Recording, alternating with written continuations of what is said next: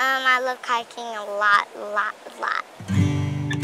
Encouraging your kids to paddle will give them a fun outdoor activity to share with you and will help to build their character and their confidence. It's important to introduce your kids slowly to whitewater so that they have good, fun experiences.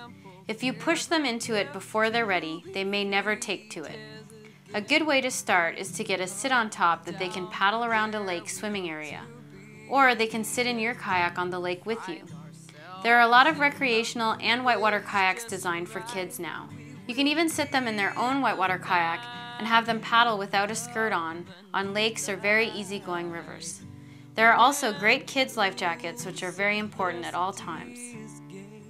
There are many kids classes, camps, and programs that focus on whitewater kayaking. There are even kayaking high schools where kids get to travel, paddle, and develop academically. If you are introducing your kids to whitewater, be sure to use good judgment and common sense when it comes to safety. I know a lot of experienced women who have paddled during their pregnancies, and I know a lot of parents who switch off babysitting so that they can get on the water. There's tons of people who love to paddle as a family, and here are some interviews from moms and girls on why they love to paddle.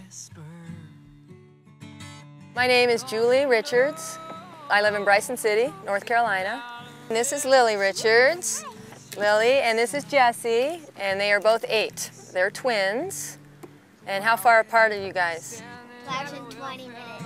Two hours and 20 minutes apart. Well, we started kayaking with the kids because I've been paddling for quite a long time, so has my husband, and we just wanted to make it a family event. And um, first we just started on the lake. Um, and um, it's just been really fun. We actually just started coming down the lake and swimming, and they got really into, you know, swimming and comfortable in the water.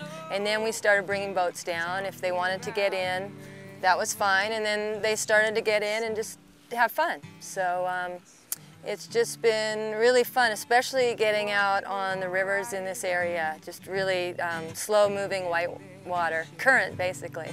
And um, it's just really fun to do it as a family. It's um, a nice thing, and now we can start getting back into, into paddling. Yeah, my husband and I can start getting into it again with the kids.